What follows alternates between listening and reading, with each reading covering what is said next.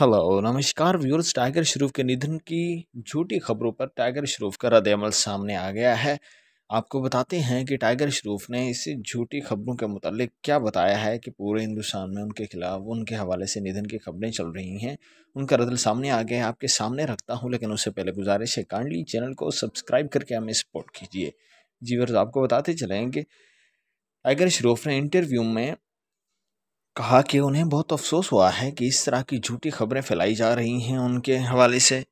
वो खैरियत से हैं, उनको बहुत अफसोस हुआ है इस तरह की खबरें सुनकर। वो अभी दरख्शार रहना चाहते हैं और अपने मदाहों को महसूस करना चाहते हैं। मजीद वीडियोज़ के लिए सब्सक्राइब